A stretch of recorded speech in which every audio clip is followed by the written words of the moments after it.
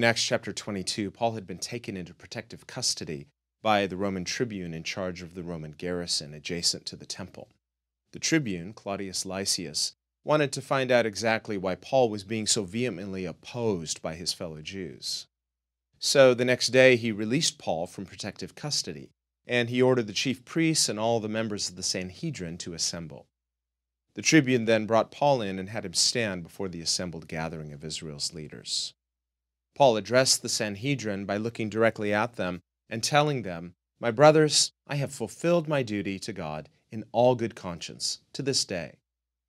Upon hearing this, the high priest, Ananias, ordered those who were standing near Paul to strike him in the mouth.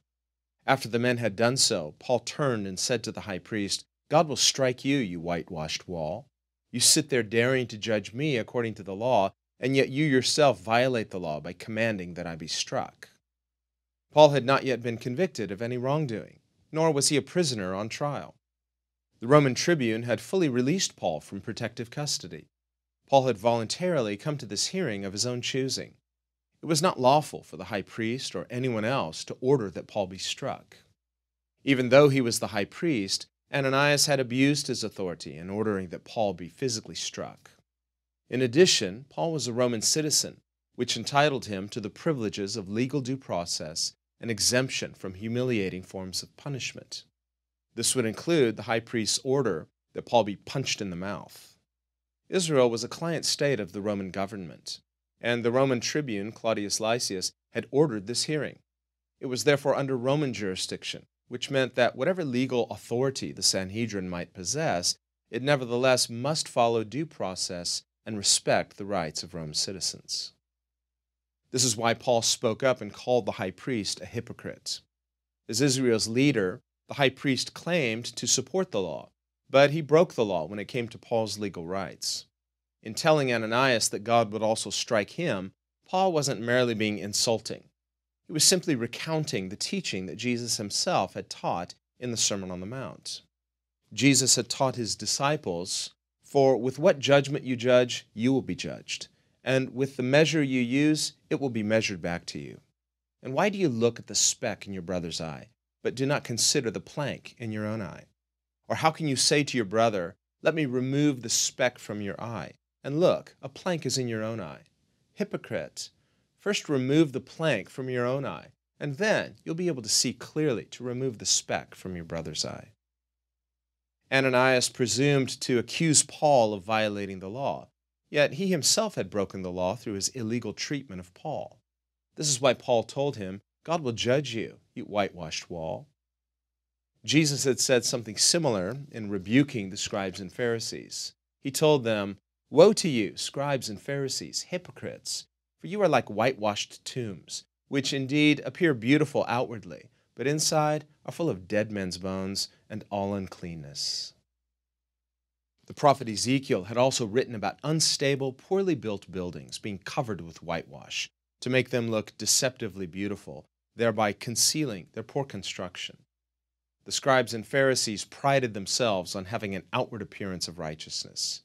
Yet Jesus pointed out that inwardly they were insincere hypocrites. In calling Ananias a whitewashed wall, Paul was essentially calling him a hypocrite. Those who were standing nearby Paul said to him, how dare you insult God's high priest? Paul hadn't yet realized who Ananias was. He replied to the Sanhedrin, Brothers, I did not realize that he was the high priest, for it is written, Do not speak evil about the ruler of your people. In saying this, Paul was quoting from the book of Exodus, chapter 22, verse 28, which warns, You shall not revile God, nor curse a ruler of your people. Paul had not realized who Ananias was and probably had never seen him before.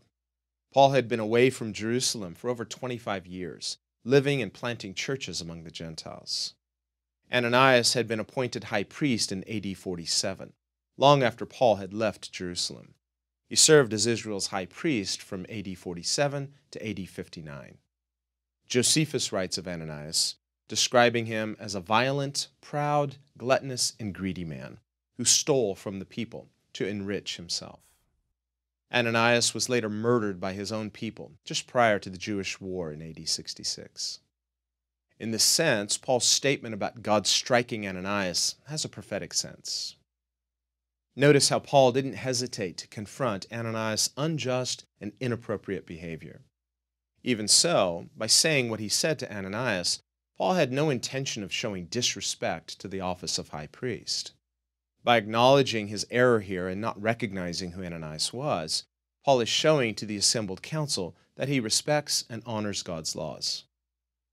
But what Paul has said was true enough. Even though he was the high priest, Ananias had broken the law by ordering Paul to be hit in the mouth.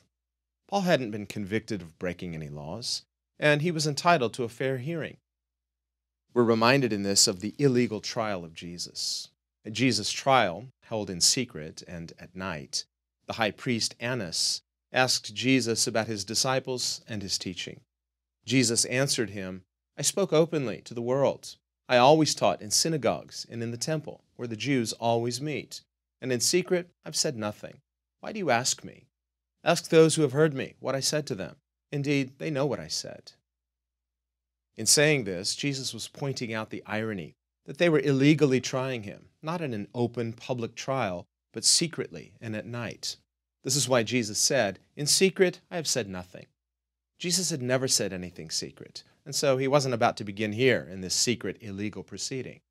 If they wanted to know what Jesus taught, they could inquire legally and openly, the legal proper way, by interviewing witnesses in a legal court of law not by interrogating Jesus in a secret illegal proceeding. By answering them the way he did, Jesus was pointing out their insincerity and hypocrisy. The Sanhedrin weren't at all interested in learning what Jesus taught. They just wanted to quickly force through the baseless charges that were against Jesus through this illegal trial. They didn't uphold or show any respect for the law at all. They were clearly lawbreakers who had no regard for either justice or due process. After Jesus had answered the high priest this way, one of the officers who stood by struck Jesus with the palm of his hand, saying, How dare you answer the high priest like that? Jesus answered him, If I have spoken evil, prove it. But if I spoke truly, then why did you strike me? As with both the Lord Jesus and the Apostle Paul, the Sanhedrin had shown no respect for justice or due process of law. Even though both Jesus and Paul were treated harshly and unjustly, Neither had caved in to a spirit of coercion or intimidation. They simply spoke honestly and truly. This is an example for us as well. Jesus taught his disciples to forgive their enemies. But this doesn't mean that we ignore injustice or that we call evil good. The scriptures clearly warn exactly the opposite. Isaiah writes, Woe to those who call evil good and good evil. Instead, Jesus taught in Matthew chapter 18 verse 15, "Moreover, if your brother sins against you, go and tell him his fault between you and him alone. If he hears you, you've gained a brother." In other words, Jesus teaches us to confront those who sin against us. If they repent, then we are to forgive them and be reconciled. This is Jesus' proper order for forgiveness. The goal of extending forgiveness is always reconciliation. Yet there can be no true reconciliation without sincere repentance, either before God or toward others.